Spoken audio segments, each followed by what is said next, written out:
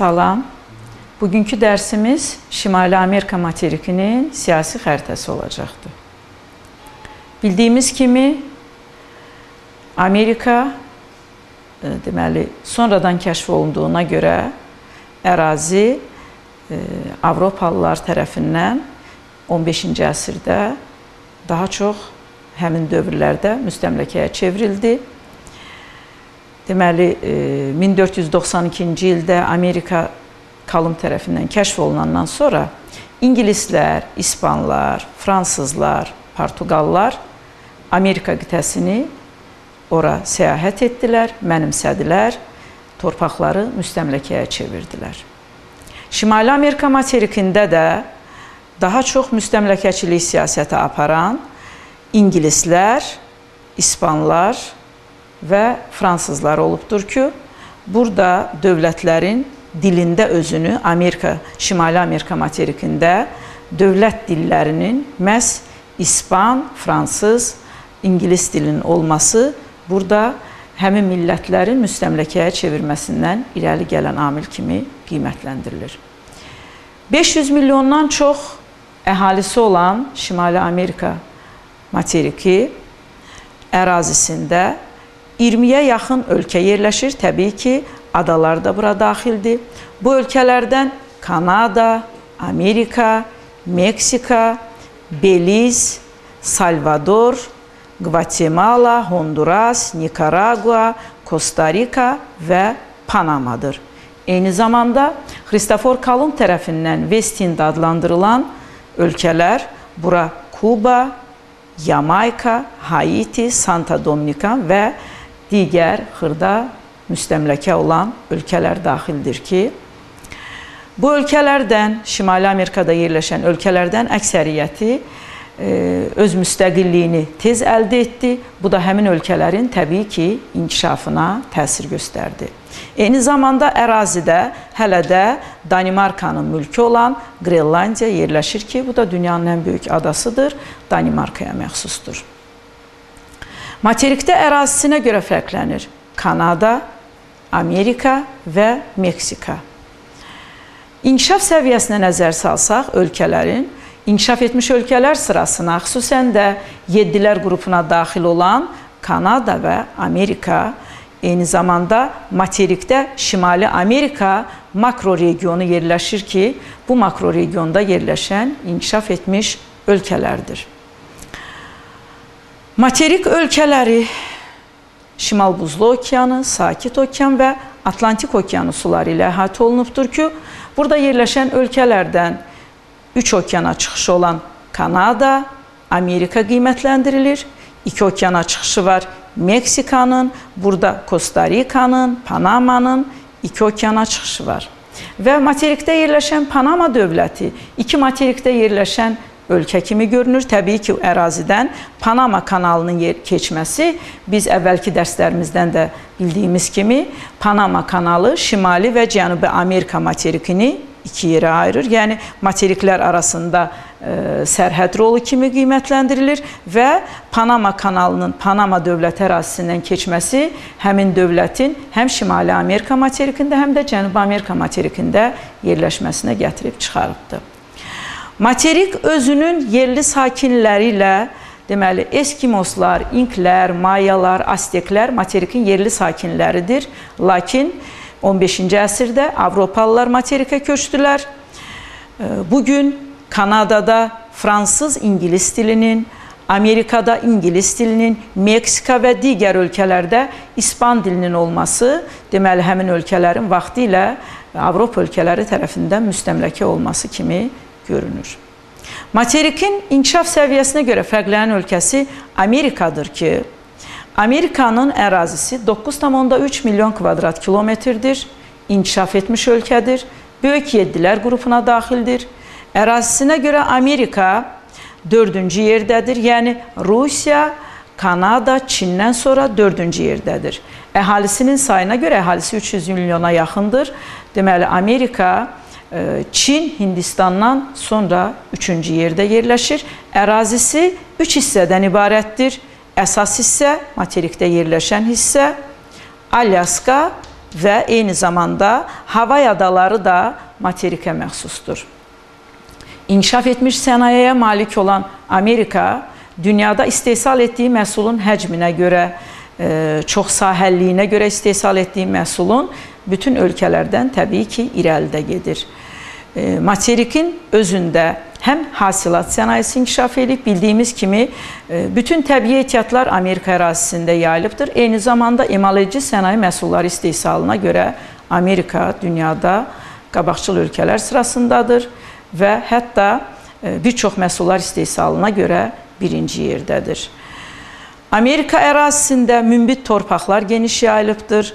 Amerika Birləşmiş Ştatları 50 ştat və bir də Kolumbiya milli mahalından ibarətdir ki, inzibati ərazi quruluşuna görə deməli federativ ölkədir, ştatlara bölünübdür. Hər bir ştatın özünün qanunverici, icra edici orqanı var. Dövlət başçısı qanunvericilik hüququna malik deyil, qanunvericilik konqresə məxsusdur. Dini xristian dinidir. Dili isə ingilis dilidir Amerikanın. Bu da İngiltərənin müstəmləkəsi olmadan irəli gəlir. Lakin 1776-cı ildə müstəqilliyini elan elədi, müstəqillik qazandı. Bu da bu gün Amerikanın inkişafına təsir edən amil kimi qiymətləndirilir ki, müstəmləkədən tez azad olunubdu. Lakin Amerikanın inkişafında Avropadan gələn ixtisaslı kadrların, yəni bunu ağıllar axını kimi qiymətləndirirlər, həm də eyni zamanda özünün təbii ehtiyatlarının olması onun inkişafına təsir göstərən əsas amil kimi götürülür. Əhalisinin sayına görə Amerika dünyada üçüncü yerdədir. Deməli, Avropalıların Amerikaya axını e, zamanı ilk məskunlaşılmış ərazi materikin şimal-şərq hissəsi olubdur. Yəni bu əsasən göllər ətrafı və Atlantik okeanı sahillərini əhatə eləyir ki, ilk məskunlaşılmış ərazi ora olduğuna görə həm də əlverişli e, iqlim materik e, əhalisinin məhz bu hissədə, şimal-şərq hissədə yerləşməsinə gətirib çıxarıb ki, dünyada da əhali sıxlığına görə fərqlənir məhz Amerikanın şimal-şərq hissəsi. Lakin sonradan E, deməli mərkəz hissələr mənimsənildi, qərb hissələr mənimsənildi və bu gün əhali daha seyrək məskunlaşıbdı. Bildiyimiz kimi Kanadanın şimalı, Qrenlandiyanın mərkəz hissəsi, burada bəzi hissələr buz bağladığına görə məskunlaşma üçün ərazi o qədər əlverişli deyil. Belə əraziləri biz ekstremal ərazilər adlandırırıq. Eyni zamanda ekstremal ərazilər Alyaska və Kordillerin yüksək dağlığında da özünü biruzə verir. Amerika bir çox məhsullar istehsalına görə dünyada fərqlənir. Yəni bu ə, e, təyyarə istehsalıdır, fərqlənir. Elektrik avadanlıqları istehsalıdır, avtomobil istehsalıdır. Avtomobilə dəb qoyan ölkə kimi yüksək qiymətləndirilir Amerika. Məhz elə Amerikadakı şəhərlərin sayı materiki şəhərlər materiki adlandırmağa imkan verir ki, burada xüsusilə fərqlənir. Bildiyimiz kimi Amerika Atlantik okeanı sahillərində, burada New York şəhəri yerləşir, Vaşinqton yerləşir, e, Boston yerləşir və e, burada böyük şəhərlər birləşib megapolis əmələ gətirir. Eyni zamanda böyük şəhərlər göllər ətrafında da var. Cleveland var, Pittsburgh var, Chicago var, Detroit var və Sakit Okean sahillərində də San Francisco, San Diego, e, Los Angeles kimi iri şəhərlər məhz materiki şəhərlər materiki adlandırmağa imkan verir. Və materikə gələnlər e, əvvəllər daha çox Avropalılar olmuşsa, sonradan e, deməli Afrikadan, Asiyadan e, gələnlər burada deməli e, Avropoid dirqindən başqa yerli sakinləri Mongoloid dirqi və gəlmələr Negroid irqinin nümayəndələri də təbii ki, Afrikalılar da ərazidə gəlib məskunlaşmışdılar. Lakin yerli əhali bunlar tərəfindən, e, gəlmələr tərəfindən, xüsusən də Avropalılar tərəfindən sıxışdırıldığına görə yerli əhali bu gün Amerikada, eləcə də materikdə azlıq təşkil eləyir.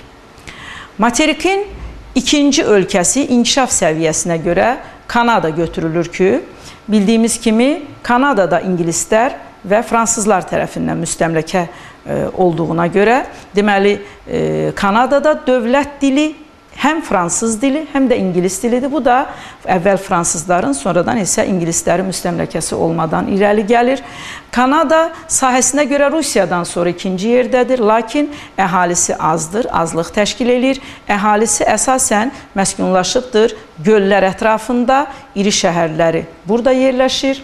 Burada e, deməli Monrealdır, Torontodur, iri şəhərlər var və Sakit Okean sahillərində iri Vancouver şəhəri əhali sıxlığına görə fərqlənir. Şimal-şərq hissəsi o qədər mənimsənilməyibdir.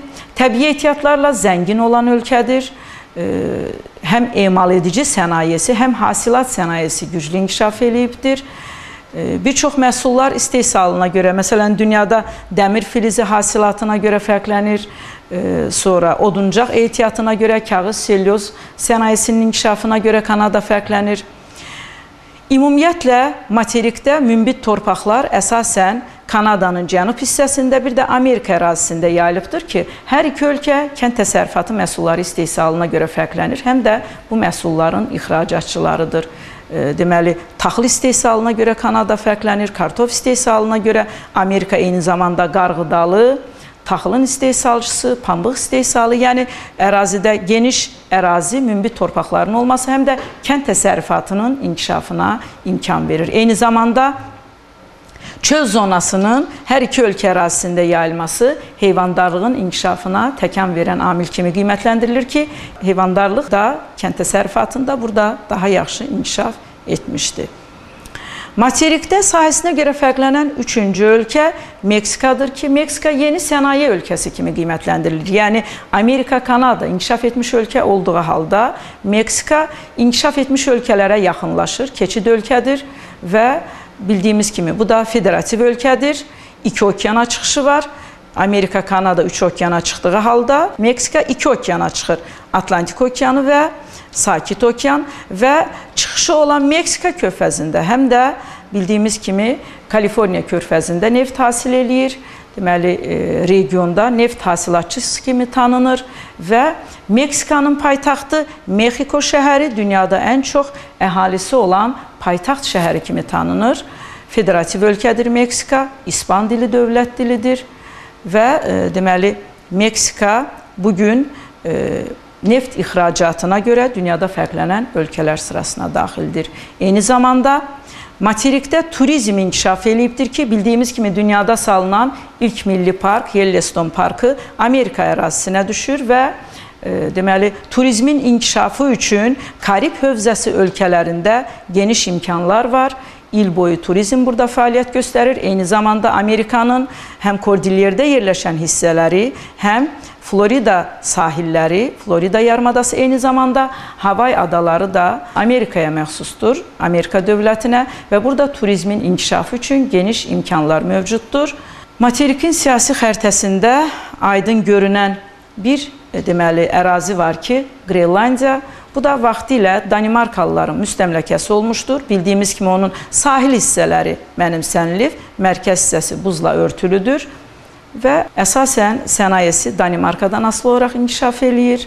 Materikdəki ada dövlətləri bu ölkələrdən Haiti kasıb ölkədir, Santa Dominikan kasıb ölkədir. Kuba bildiyimiz kimi Qərb yarımkürəsinin yeganə sosialist ölkəsidir. Yamayka boksit istehsalına görə fərqlənir və ümumilikdə inkişaf səviyyəsinə görə materikdə yerləşən ABŞ, Kanadadan başqa digər ölkələr inkişaf etməkdə olan ölkələrdir. Bugünkü dərsimiz bu qədər. Hələlik sağ olun.